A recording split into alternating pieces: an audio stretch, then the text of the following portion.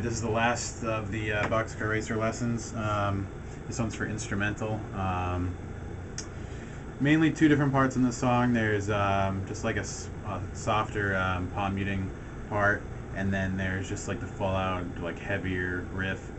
Um, there's always been a lot of speculation on what to play for uh, the intro, or the verse, I guess. Um, just the little palm muting part. Um, I have played it so many different ways because I'm always hearing something different.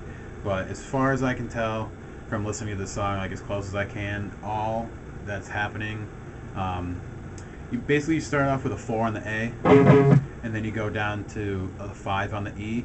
You're gonna stay with a four on the A the entire time, um, and you're just gonna be changing the root notes on the E string. Um, but a lot of people would go from the five on the E to the four, and then a two, and then an open. Um, that's actually how I used to play it too, but the only thing I can hear in the song is just going from a 5 to a 4 to a 5 to a 4, and that's really all I'm hearing. I mean, you can play it um, with the 5 4 2 0 if you really want to, um, but I don't think it's going to sound as good. Um, so, really, all it is is just this.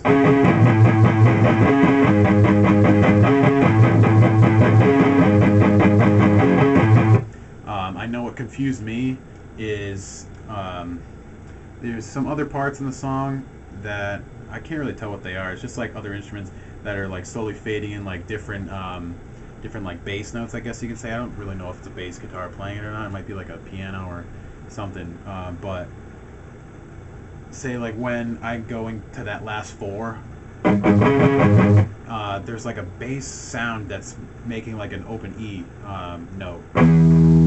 So it's just like a, a, slow, like ringing out, like a heavier open uh, E sound. But I'm pretty positive you're still just playing that four. So really, all it is is this.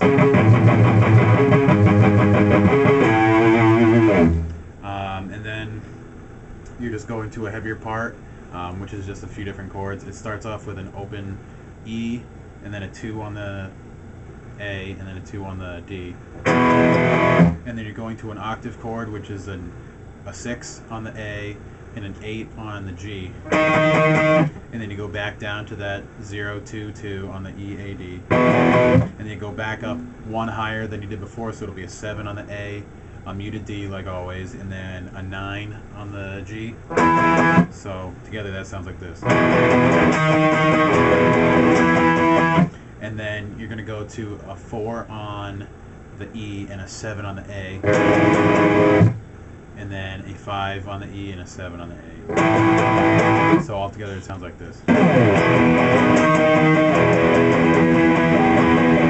Oh, I, I did mess it up. It goes um, from this chord to that other first first chord, and then it just goes back down to the uh, that one, the open E note or chord, and then back up to that five seven. So it's not just you're going uh, to this one, then this one. Okay, so all that should sound like this.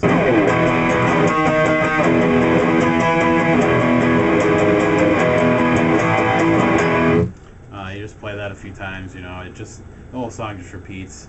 Um, so there's nothing really much to learn about that except for how many times you're playing each thing. Because I know um, you do like the verse, chorus, verse, chorus, and it's more or less the same. I think the second chorus is a little longer, and then the third time you play the verse, it's really a lot shortened, and then the the last chorus is like a lot longer. So um, nothing too crazy with that. Um, as I've said in previous videos, I mean, I might do more lessons if you guys want. I can do other bands. Obviously, I don't have any more uh, Box Car Racer to do unless you wanted bass, but the bass is really boring in the whole album anyway. Um, there's nothing really uh, going on with it too much. I mean, there's really only like one or two songs that the bass really stands out for me anyway. Um, so if you got any questions, any uh, requests, anything you want me to do, just let me know. Just drop me a comment or a message, anything like that. Um, and that's really all I got. Thanks for watching, and um, keep it coming, I guess. Or I'll keep it coming, I guess. Someone will be keeping it coming.